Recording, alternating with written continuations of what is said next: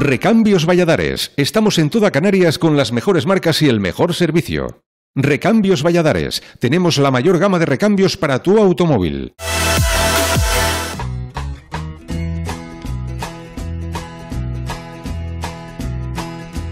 I got a moon out my window in the night.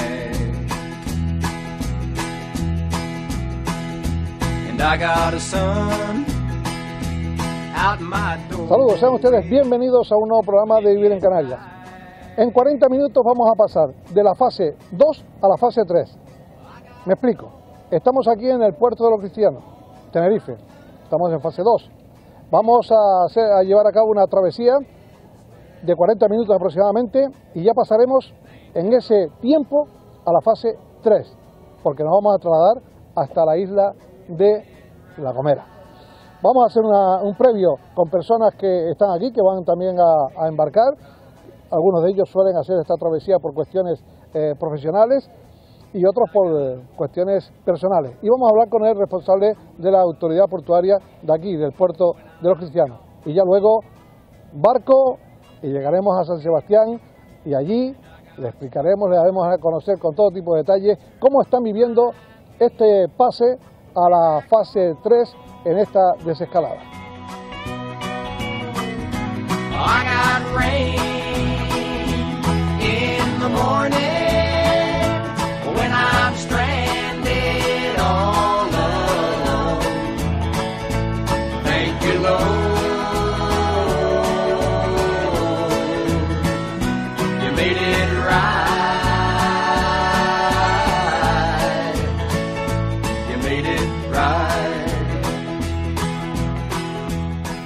Desde que se decretó el estado de alarma, lo que la autoridad portuaria fijó tanto para sus trabajadores como para todos los usuarios- era un seguimiento exhaustivo eh, del cumplimiento de la normativa de salud pública y de seguridad en general para los pasajeros y para los usuarios. Sí es cierto que desde el principio ha habido un bajón tremendo en el movimiento, eh, sobre todo de pasaje, de mercancías no tanto, aunque también se notó al principio, pero básicamente durante todos estos meses, todas estas semanas, lo que más se ha movido ha sido mercancía. En las últimas semanas sí se ve ya un repunte de la actividad de pasaje, pero del turismo cero. O sea, normalmente en los cristianos por las mañanas hay mucho tráfico para excursiones y eso sí que está a cero. Actualmente está a cero. Tráfico de Tenerife a La Gomera o de La Gomera a Tenerife, eh, yo creo que más o menos es el mismo, porque el que va mm, viene, ¿no? O sea que básicamente sí, por el estilo, en ambos sentidos por el estilo. En cuanto a la desinfección de vehículos y eso, sí que ha habido alguna intervención de la unidad militar de emergencia, sobre todo al principio de- del estado de alarma, y sí somos conscientes de que tanto en La Gomera como en el Hierro sí que se desinfectaban los, los vehículos, tanto por fuera como, como la cabina de los camiones y demás. Pero aquí en los específicamente solo las intervenciones que ha hecho la unidad militar de emergencia. Sí, sí, en todo momento los usuarios han atendido nuestras recomendaciones y nuestras exigencias porque básicamente eran cuestiones de salud pública que les redunda en su propio, interés, en su propio beneficio. Sí, los horarios y, y las frecuencias se modificaron desde el primer día. Eh, sí es cierto que al, eh, principio, eh, como estábamos todos un poco pendientes de cómo se iba a desarrollar, pues había un poco más, pero luego ya se estabilizó y se han fijado unas frecuencias y unos horarios. Eh, ahora Fred Olsen, pues desde ya un poquito más, un poquito después de, empezar el estado de alarma, fijó una serie de días para sus viajes de la mañana y para los viajes de la tarde. Y Navidad Armas exactamente igual. Pues ahora mismo, tal como está configurado, los lunes, miércoles y viernes por la mañana es eh, Navidad Armas la que hace la línea con, con La Gomera y enlaza con, con la estaca. Y Fred Olsen lo hace los martes y los jueves, eso por la mañana, para ir a La Gomera. Y luego por la tarde, ambas navieras eh, hacen sus viajes con escala en La Gomera a las 7 de la tarde, todos los días, de lunes a, domingo. Pero solo, solo hay ese viaje de la mañana y el viaje de la tarde, cuando antes era bastante más. Bueno, lo que significa que esté uno, la, la isla de Tenerife en dos y la isla de La Gomera en tres es que en La Gomera hay eh, un avance importante ¿no? en cuanto a movilidad se refiere. Eh, sería más fácil en todo caso venir desde La Gomera para acá. Pero insisto, eh, está muy equilibrado tanto el trayecto La eh, Gomera Cristianas como Cristiano Gomera.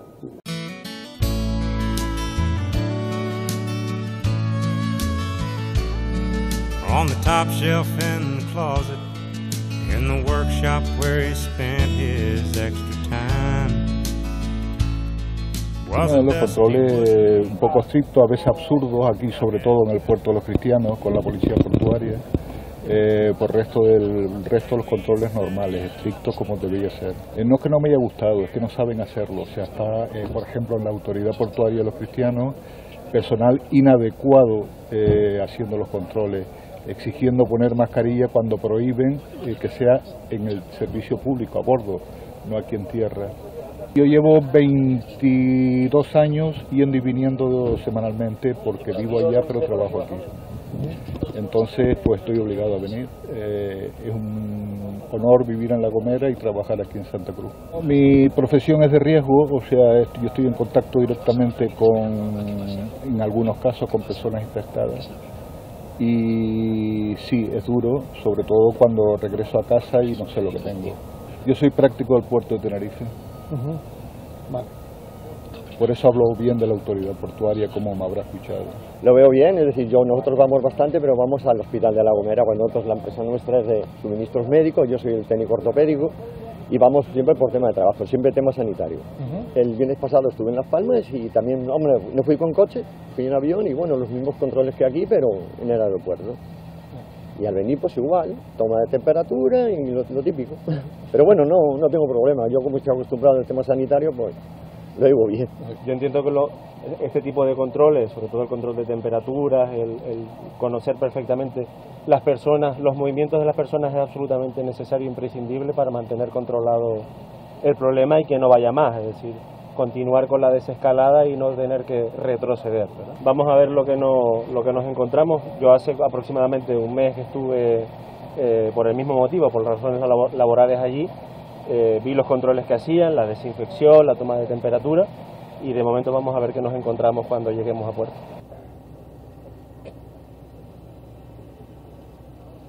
¿Correcto?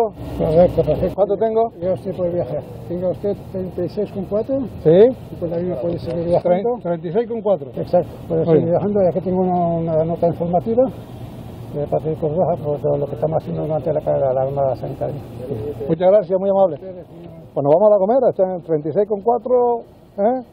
Estamos aptos para viajar a la isla colombina.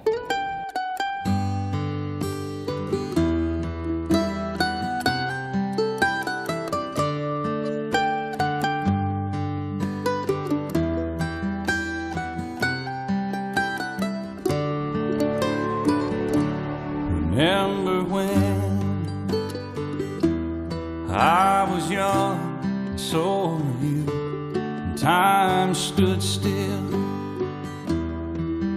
And love was all we knew. You were the first, so was I. We made love and then you cried. Remember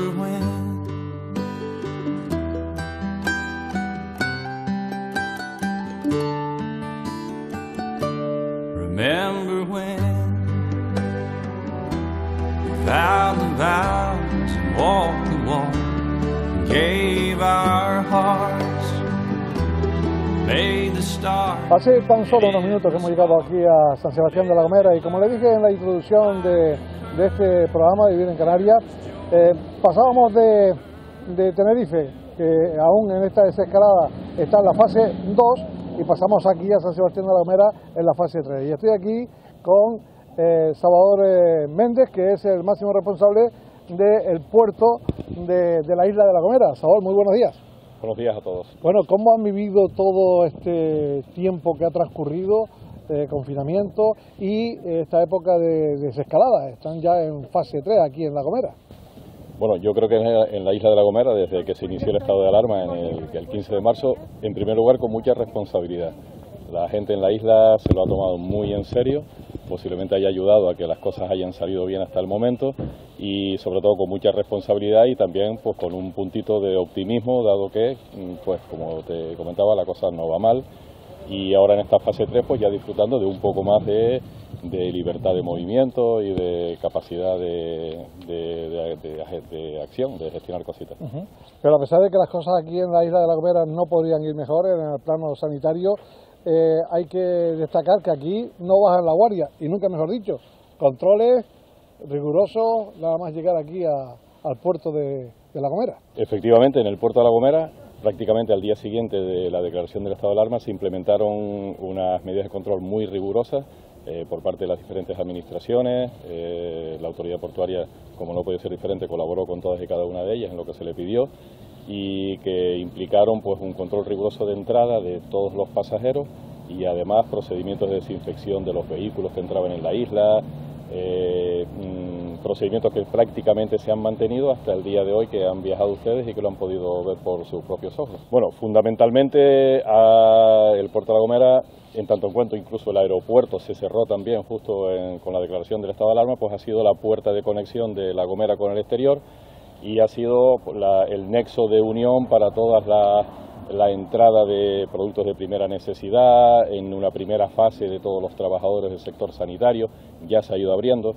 Eh, se, han, ido abriendo eh, la posibilidad de consultas especializadas en Tenerife, la actividad profesional también se ha ido diversificando, hay un movimiento más importante de pasajeros que en los primeros días, pero básicamente el puerto ha sido el punto del nexo de unión de la isla de La Gomera con el exterior. El inicio de la, de la actividad náutico-deportiva, que está englobada dentro de las actividades de ocio y naturaleza que contempla el plan para la transición hacia la nueva normalidad, se empezó francamente en fase 2, con el inicio de la fase 2 dentro de un ámbito reducido, inicialmente al término municipal, de, en este caso de San Sebastián, y ahora ya a, nivel insular, pero de momento sigue estando prohibido, no solo para los gomeros, sino para cualquier eh, eh, practicante de la actividad náutica, cualquier isla, el cruce entre islas, hasta que ya se abra francamente eh, la, movilidad general entre islas.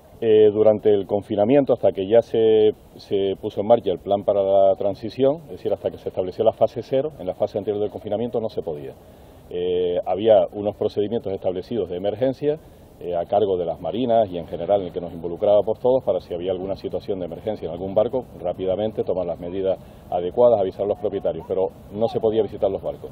A partir de la fase cero y poco a poco se fue desescalando con visitas puntuales, eh, controladas de solo el propietario para labores básicas de inspección, hasta llegar a la situación actual en la que ya se puede francamente pues, estar en los barcos haciendo mantenimiento ordinario, además de navegar como ya comentábamos. Y Salvador, esta situación de pandemia ha cogido algún propietario de, estas embarcaciones de forma imprevista que han tenido que dejar aquí su, su barco y bueno, y esperar a que pase la situación actual, ¿no? Sí, sí, claro, por supuesto. en la Marina, en este caso en Marina de la Gomera, eh, hay en torno a 50 personas más o menos, que son eh, personas de nacionalidad básicamente europea, franceses, alemanes, holandeses, eh, países escandinavos, que mm, les pilló un poco la situación por sorpresa, no han podido salir y han hecho todo el confinamiento y esta fase ya de, de la nueva, de la transición, lo han hecho eh, con, base aquí en, la Marina.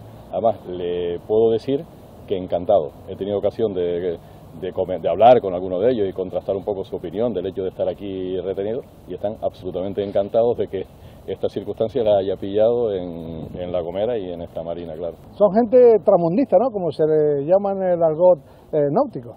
Así que están acostumbrados a este tipo de cosas. Hombre, no esta situación tan extrema, pero a pasar por algunas circunstancias en las cuales han tenido que, dejar también su embarcación en algún punto de, la geografía mundial, ¿no? A buen seguro que sí. Eh, básicamente estamos hablando de, barcos con su tripulación que han llegado a La Gomera preparando el cruce del Atlántico para seguir hacia el Caribe o incluso dar la, dar la vuelta al mundo. Entonces gente que está acostumbrada a pasar por muchas circunstancias y no es la época ahora, eh, hay que esperar a finales de verano, pero bueno, ya estaban preparando su cruce y aprovechaban y me imagino que aprovecharán porque afortunadamente parece que la cosa lo va a permitir hacer turismo por, eh, por las islas. Eh, ¿Cuántos barcos de bandera extranjera atracan aquí en el puerto de, de La Gomera? Eh, hacen un paréntesis y luego seguir rumbo hacia destino o a América o cualquier otra parte del mundo. Me imagino que serán considerados bastante los que los que vienen hasta este lugar. Eh, sí, obviamente no me atrevo a darte una cifra concreta, pero pueden ser decenas, decenas o centenares de embarcaciones que eligen la Gomera como, además por su posición muy occidental, eh, como último punto de partida eh, para la travesía oceánica de cruce del Atlántico. Además de aquí partió Colón también, ¿no? con lo cual hay una razón que justifica eh, ah, obviamente hay otras, hay la ARC desde Gran Canaria que sale con cientos de embarcaciones, muchas de las cuales también pasan aquí algunas semanas, aquí o en otras marinas de las islas. Pero sí, la, Gomera sin lugar a dudas es un punto de partida para la travesía oceánica y llegar al Nuevo Mundo. son ya muchos los años que llevas aquí al frente del puerto de, La Gomera. Pues estamos casi casi en, llegando a 30 años de, antigüedad aquí en gestión en el puerto y bueno, contento. ¿Y qué balance hace de todos estos años? Bueno, pues eh, yo empecé a trabajar con la primera gran obra de ampliación y además durante la fase de ejecución de la obra de ampliación en el año 95, 93, entre el 92 y el 95. Con lo cual, pues imagínate, he, podido afortunadamente vivir pues el puerto de inicio de los 90 al puerto del siglo XXI que tenemos ahora mismo. Bien, pues Salvador eh, Méndez eh, que nos ha dado respuesta a muchas de las preguntas que le hemos formulado con esta situación en la que nos encontramos, situación de desescalada.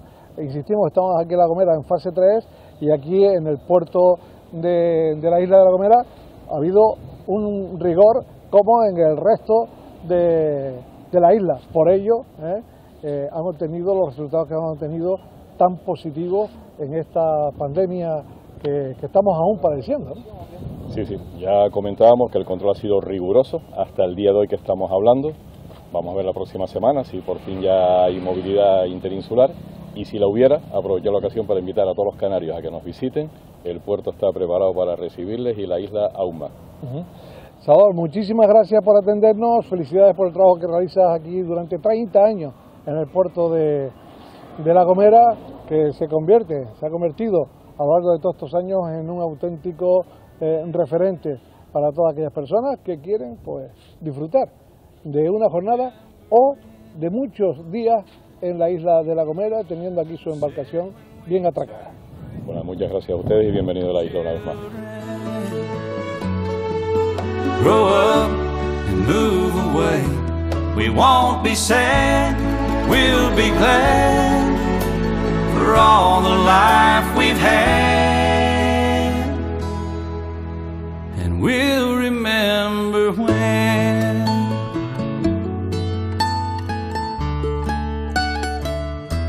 Remember when.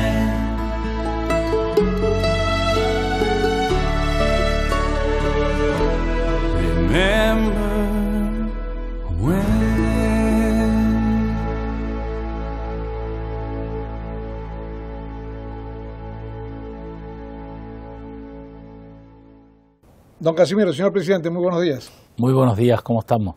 Pues yo encantado de estar aquí, eh, charlando con usted unos minutitos.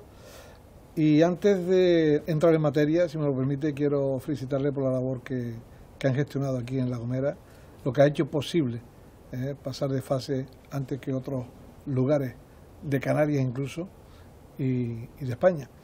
Eh, muchas gracias, Cito. Mm, desde luego para nosotros es mm, eh, también una satisfacción encontrarnos una vez más en La Gomera para trasladar las inquietudes y en este caso las vivencias que no han sido pocas como consecuencia de esta pandemia, de esta crisis sanitaria que nos ha eh, invadido a todos, a todo el mundo, no a La Gomera. Aquí tuvimos, eh, em, vamos a decir entre comillas, tuvimos aquella casualidad de ser el primer lugar de nuestro país donde apareció el, coronavirus, fue efectivamente como consecuencia de una visita, fue un coronavirus inducido, vino en este caso de Alemania, y desde luego se puso de manifiesto una respuesta eficaz de los profesionales sanitarios de La Gomera y mm, en aquel momento es verdad que no teníamos una preocupación eh, o al menos no eh, sabíamos la dimensión que iba a tener este problema, ¿no? Después con el tiempo de haber vivido otros casos también importados todos ellos de Italia, de Madrid y de Tenerife, nos dimos cuenta de la gran dimensión que suponía este virus, de, no solo por la afección a la salud de los ciudadanos, sino lo que suponía el confinamiento para mm, eh, eh, eh, hacer que la actividad económica se paralizara, porque si los empresarios y todos estamos confinados, no hay actividad económica y no podemos hacer nada, ¿no?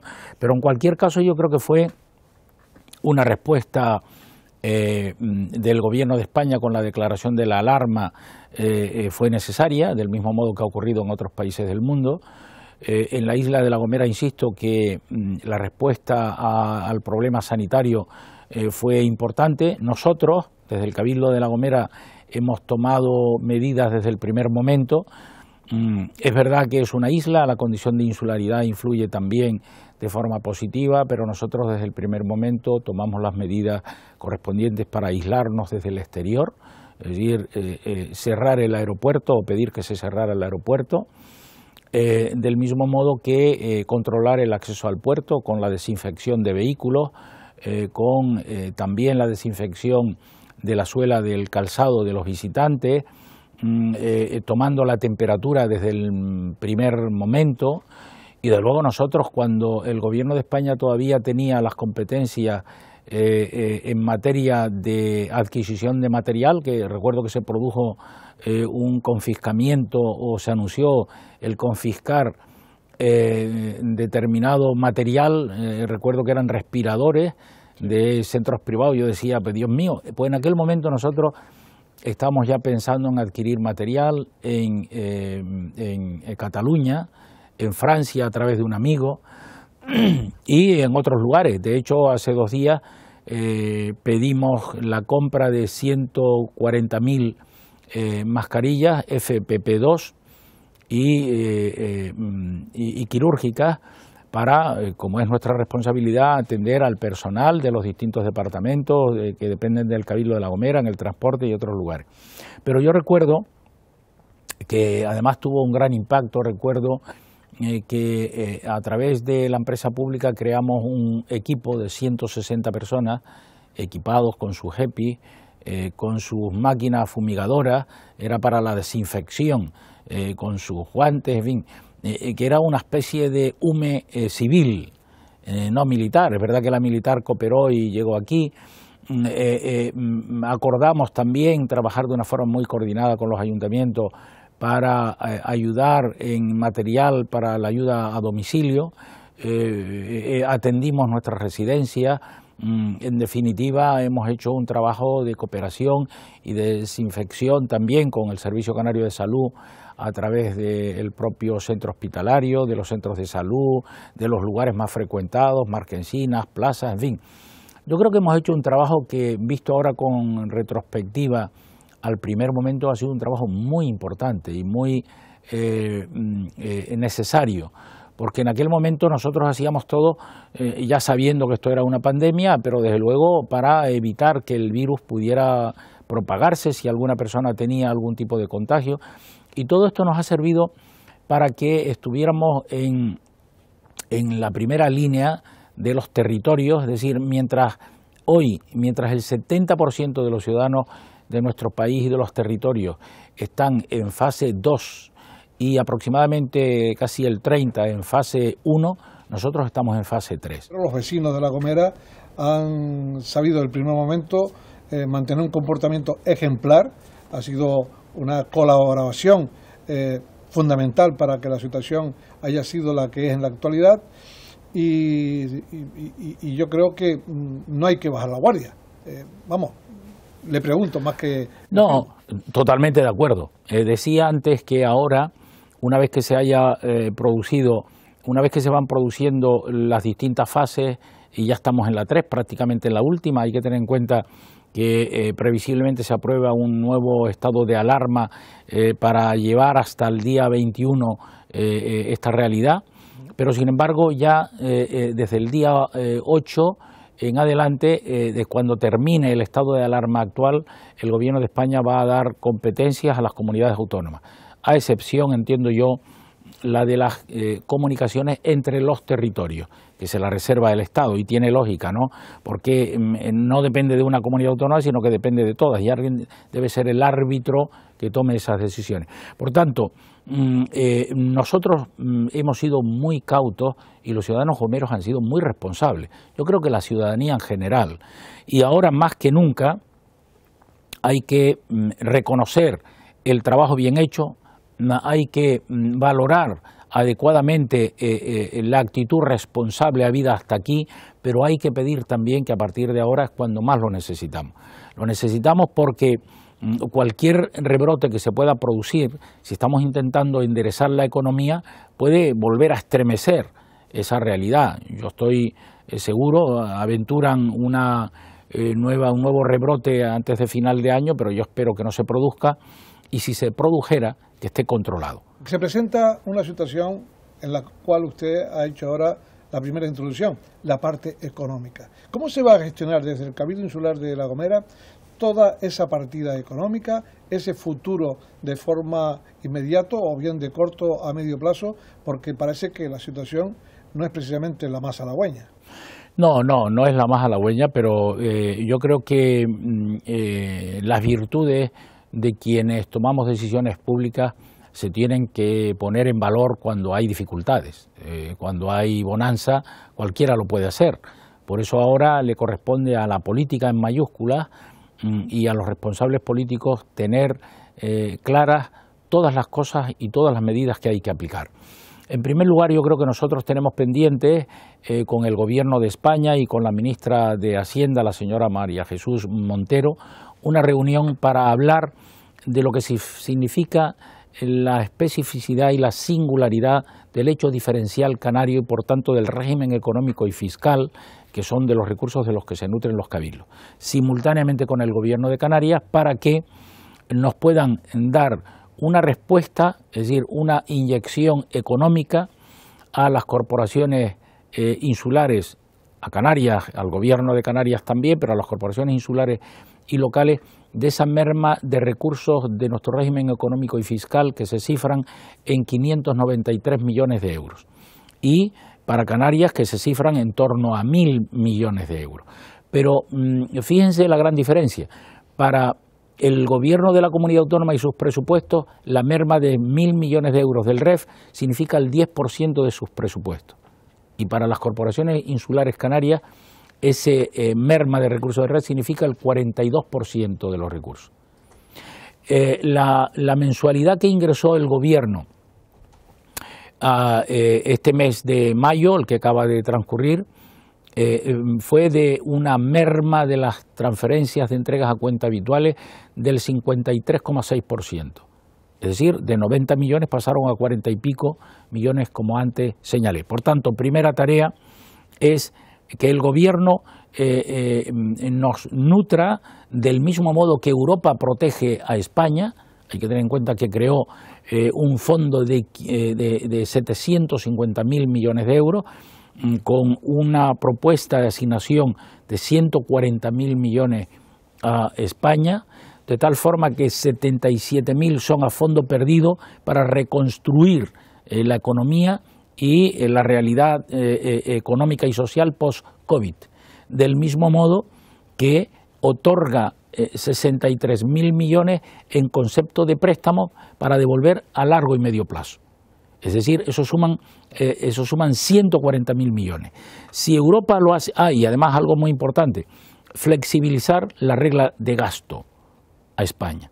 Si esa realidad funciona de Europa a España, España, independientemente de que ha hecho cosas muy positivas, como los ERTES para que eh, haya un salario para las empresas que han hecho mm, esta vinculación porque al cerrar la empresa, lógicamente no hay trabajo. Entonces alguien habrá, tendrá que pagarle. Entonces el gobierno de España con los ERTES coopera a pagar esos salarios. Son muy importantes, del mismo modo que los fondos eh, ICO para dimensionar eh, recursos y darle liquidez a la empresa pública o el recientemente aprobado impuesto, perdón, ingreso mínimo vital, que se aprobó el viernes y que eh, empezará a tener virtualidad para que todos los ciudadanos gomeros y canarios en general y del resto de comunidades autónomas puedan solicitarlo. Eso suponen 800, el atendimiento a 850.000 familias con un destino de algo más de 3.000 millones de euros y en el caso Canarias afectará a 90.000 familias, que yo desde aquí hoy que tengo la oportunidad le pido a los homeros que estén atentos y que hagan la solicitud para cumplir con los requisitos porque ya aliviamos una parte de la ciudadanía que tiene esas dificultades. Mi última pregunta a título personal, don Casimiro Crubelo. Eh, en toda esta etapa toda esta etapa, todo lo que ha trascendido, todo el esfuerzo que se ha tenido que hacer, le ha pasado factura, eh, factura en el plano también incluso físico y sanitario. No sé si cómo, cómo, cómo lo ha llevado. Bueno, yo creo que a todos nos ha mm, afectado directa o indirectamente desde el punto de vista eh, eh, emocional, desde el punto de vista, porque hay que, es verdad que mm, eh, cabe pensar que tenemos más tiempo en el confinamiento para darle vueltas a la cabeza, a las ideas. Yo le tengo que decir con sinceridad que a mí lo que ha hecho este virus, entre otros, es darme más estrés, mucho más estrés, porque yo le dedico más tiempo, le he dedicado durante eh, la etapa de la pandemia más tiempo al trabajo institucional y a la política que nunca. Y fíjense que lo digo yo, que le he dedicado todo el tiempo, todo el tiempo que yo he podido.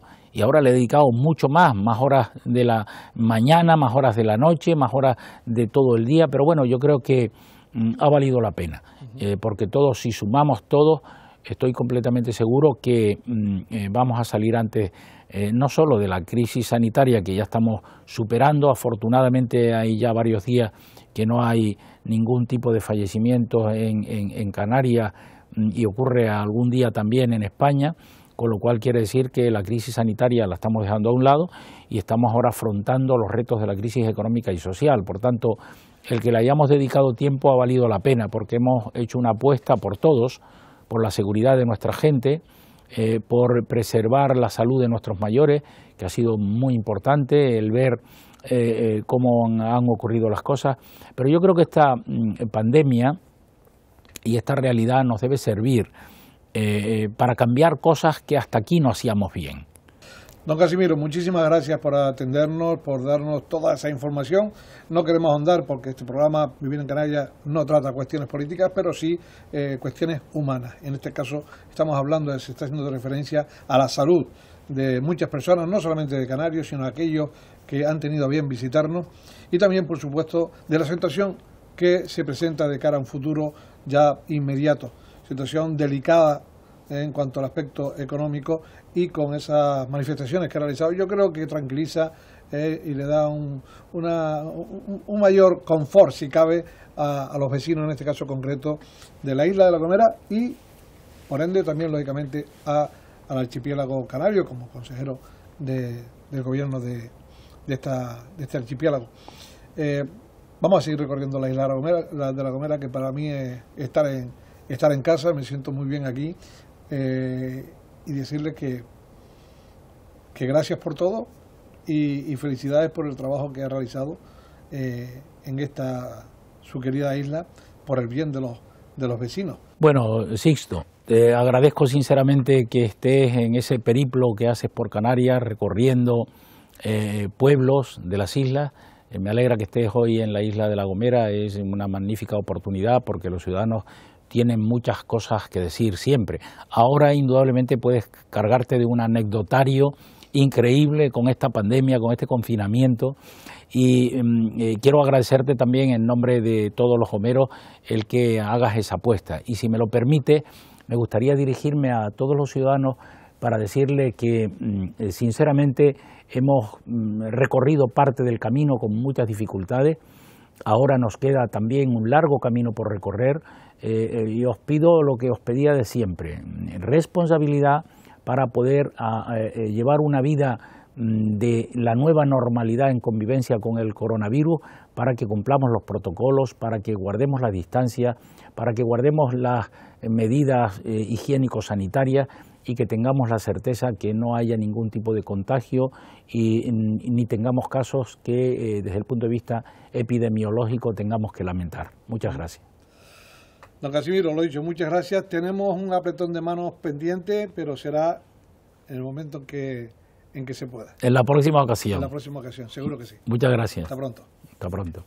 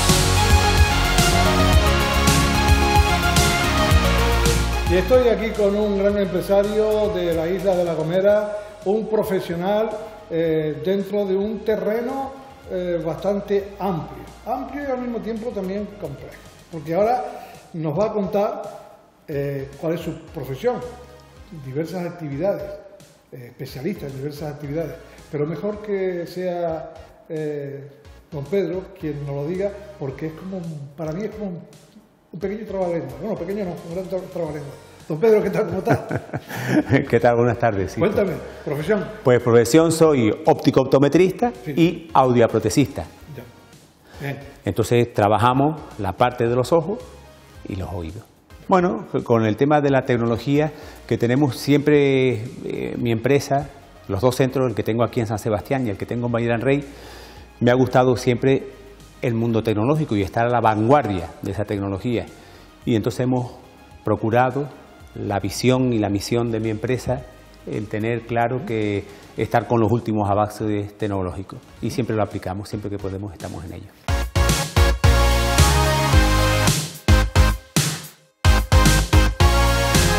Sí, complicada como ha sido el resto del mundo. O sea, ya no digo a, la zona de Canarias, España, Europa, sino todo el mundo. Esto nos llegó de sopetón y recordar que fuimos aquí, la isla de La Gomera, donde llegó el primer caso de, la enfermedad del COVID, eh, cuando aún en España no, no, había llegado ningún caso. Bueno, como a todos nos sorprendió, somos centro sanitario y como centro sanitario pues tuvimos que hacer frente en, los primeros, en la primera semana del estado de alarma a una situación totalmente nueva, novedosa para nosotros y para todo el mundo. No teníamos máscara, no, sabíamos cómo actuar. Entonces lo que hicimos fue de entrada es, eh, tener un servicio de urgencia, una llamada, un número de teléfono donde nos llamaban y solamente para aquellos casos de urgencia pues podíamos atender a la población. Nosotros lo que hicimos es que esas primeras semanas fuimos estudiando y viendo qué es lo que podía hacer y después eh, entramos en, en ERTE y el día 4 de mayo fue cuando otra vez volvimos a, abrir, pero ya con, pues ya había comprado, me había hecho de material, ya tenía las ideas claras de cuáles eran los protocolos a seguir para eh, ni nosotros contaminar ni que nos contaminen a nosotros y sobre todo siendo sanitario y que estamos muy próximos a nuestros pacientes. En la actualidad pasan a la fase 3, están en una situación óptima. Eh, ¿Qué significa para ustedes ese paso? Bueno, pues eh, eh, imagínate el, paso que podamos ir a la fase 3 y que en todo este mes que llevamos ya ahora trabajando, que no haya ningún caso aquí que se haya podido volver a, reactivar, pues estamos francamente contentos, pero siempre pendientes y a la escucha. ¿Qué quiere decir eso? De que ser conscientes nosotros y también en general la población de tener esa protección para tratar de que no vengan nuevos brotes. Pues ya han escuchado ustedes a Pedro Fernández Bencomo, que es el propietario de esta, de esta empresa, que goza de gran popularidad, eh, de gran reconocimiento, no solamente en La Gomera, sino también en todo el archipiélago canario. Ya le he dado a conocer los motivos al, inicio de nuestra conversación. Tiene un equipamiento de primer nivel y, y para solucionar los problemas de visión y auditivo tienen aquí ustedes un lugar donde acudir con total garantía. Pedro, nos debemos un abrazo y espero que sea muy pronto. Muy pronto será, seguro. bueno, un abrazo ese.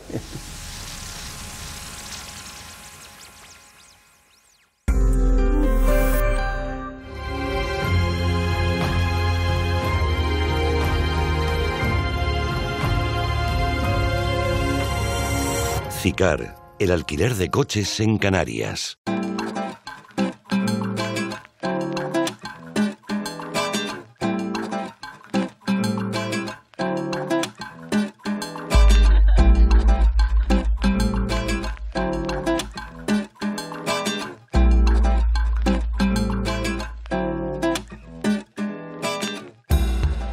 Conocer también la opinión de algunos empresarios de aquí, de la isla de eh, La Gomera.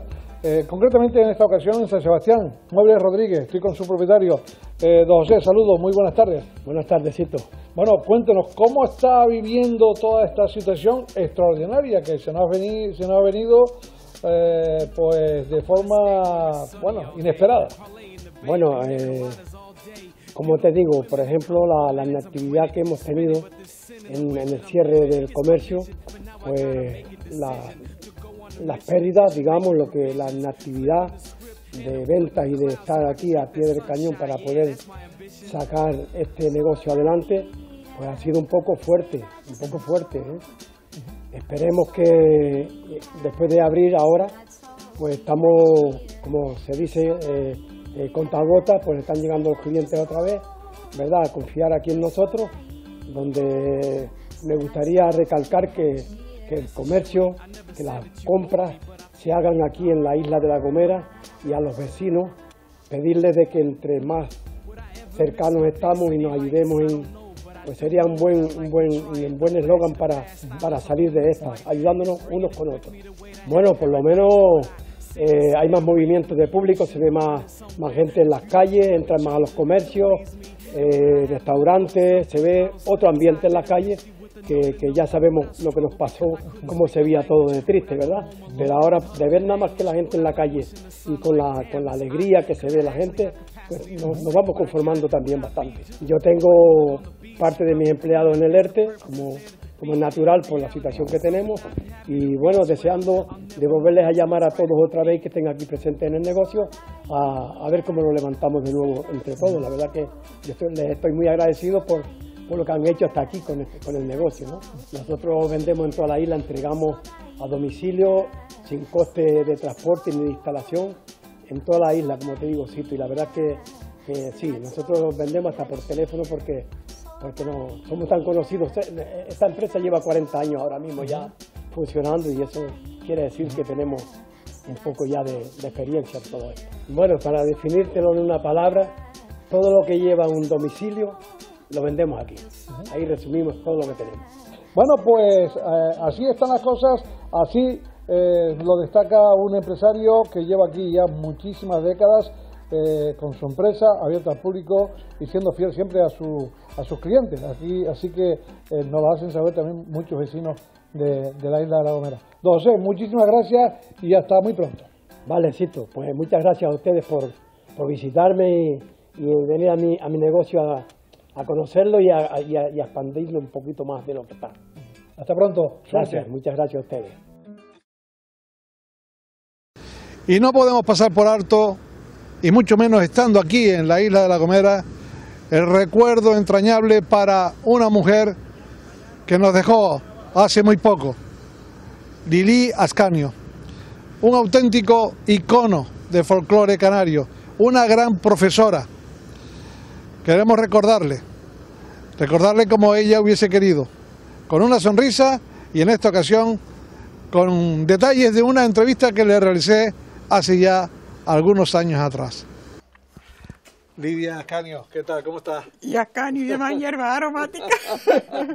pues Lidia Ascanio, Ascanio, Ascanio, y Ascanio. Sí, sí. Es decir, el apellido cuatro veces Ascanio. Cuatro veces Ascanio, porque mi padre era Gregorio Ascanio y Ascanio y mi madre Dolores Ascanio y Ascanio. Bueno, mi, bueno, bueno. mi, dos abuelos eran hermanos y ella no bailó nunca, pero sabía cómo, cómo se bailaba, que era punta y tacón. Punta y tacón. Sí, punta y tacón. Punta y tacón. Bien. Primero se empieza con la punta. Sí. y después con el tacón. Yo no sé si yo todavía estoy como para aprender, pero bueno. Pero, sí que enseñaste a muchas personas a Sí, a, la a verdad que han pasado yo creo que cientos de, de personas. Cientos de personas. Porque claro, son muchos años que ya hasta se me va de la cabeza. ¿Y cómo te sientes de eh, eh, Lili, como te conocen popularmente sí, y, y sí. tú quieres que te llamen así también, cariñosamente? ¿Cómo se siente cuando se recupera una tradición eh, como es la del baile del tambor y de las chácaras, No sé, es un orgullo interior que no se puede expresar, ¿verdad? Sino vivirlo y demostrarlo y hacer que no se pierda. Hacer Y- que no se pierda, y- porque todavía yo, bueno, don Mario, en paz descanse, el pobre, me encontró una tarde por la carretera de esto y dice, yo quiero que usted, francés, don Mario francés- era francés, quiero que usted vaya a dar clase de baile a la academia. Él que era un enemigo de los bailes, pero claro, este era un baile diferente. Claro. Y digo, ay padre, no me considero capacitada para ir a la academia a dar clases de baile. Después dice, sí, sí, usted puede. Pero la academia estaba aquí en Migua. Sí, sí. Y es donde están los colegios Sí. ahora. Ahí fue la academia y yo estuve abajo dando clases también de política. ¿Cómo has vivido la evolución que... que, que- Pues bien, que con ido- alegría, con alegría, porque además mm, van saliendo, van saliendo niños en los colegios y van aprendiendo y otras que fueron discípulas mías están, como quien dice, de profesora, están dando clases porque yo veo que los chiquillos bailan. Y me, y me siento mm, una emoción tremenda cuando, cuando veo los años que han pasado y que todavía pues hay entusiasmo y creo que ya lo habrá para siempre. Y claro, cuando me muera no me entero. Dios dirá. Eh, mirando hacia atrás, Lili, mm, ¿te ha, ha- compensado el dedicarle prácticamente toda tu vida Sí, a sí, esta sí. tradición? Uf, me siento orgullosa. Cuando oigo que están ensayando el tambor y eso, parece que como, como si fuesen hijos míos o nietos. Oye, mi niño siente un poquillo de frío, ¿te parece que entremos? ¿A casa? A casa. Como no, sería para mí un placer, encantado. Ujú, muy bien. Lili, hay que decir que tienes un espíritu joven.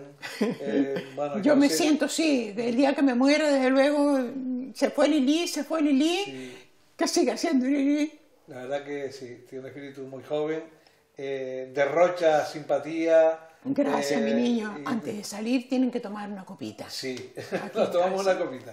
Me siento muy satisfecha adentro, desde lo más profundo, de ver que a estas alturas, en que ya yo no bailo, pero bueno, sé si bailan bien o si bailan mal, eso no lo he perdido. Y, y me, me siento, pues eso, muy Bueno, acompañada. un besito. Espérate, para que sacar una copita. Ahora, Pero, ¿eh? una copita. Sí. Autoescuela Laguna y Autoescuela San Cristóbal patrocinan este espacio.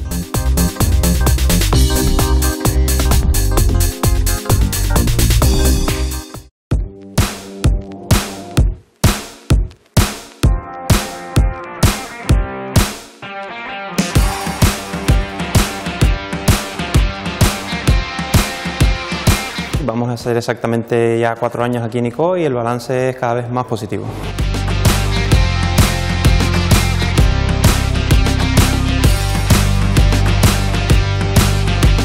Tenemos precios muy competitivos, siempre mirando eh, la calidad de los productos que vendemos. Esa es la filosofía de la empresa, siempre trabajar con, con primeras marcas.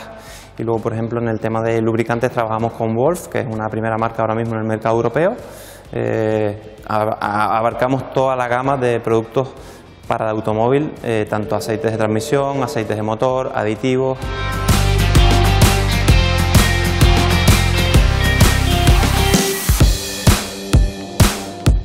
Estamos ubicados en ICO, en la carretera general, exactamente en el polígono Las Almenas.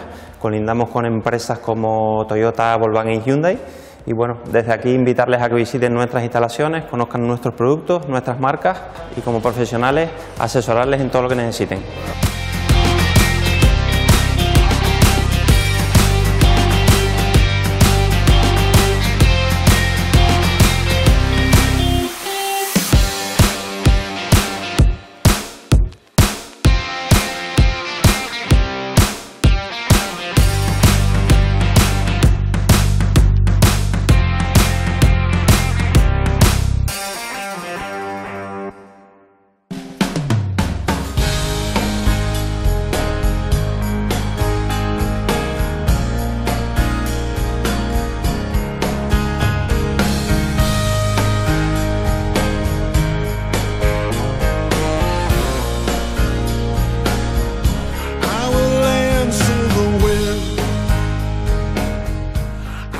Así ponemos por hoy el punto final a Vivir en Canarias. La próxima semana le contaremos más cosas de nuestros pueblos, de nuestra gente, de su cultura, su historia, su gastronomía, de todo lo que tenga que ver con nuestros pueblos canarios.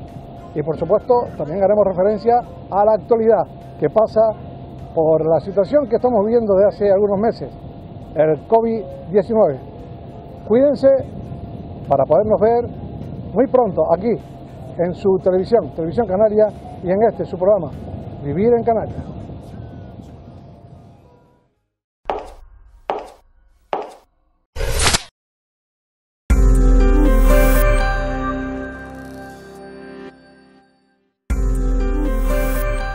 Vida te dio la posibilidad de soñar y también te dio la posibilidad de convertir tus sueños en realidad. Nosotros pensamos que ningún soñador es pequeño y que ningún sueño es demasiado grande. Por eso, en Cicar Ocasión, te ayudamos a hacerlo realidad. Cicar Ocasión.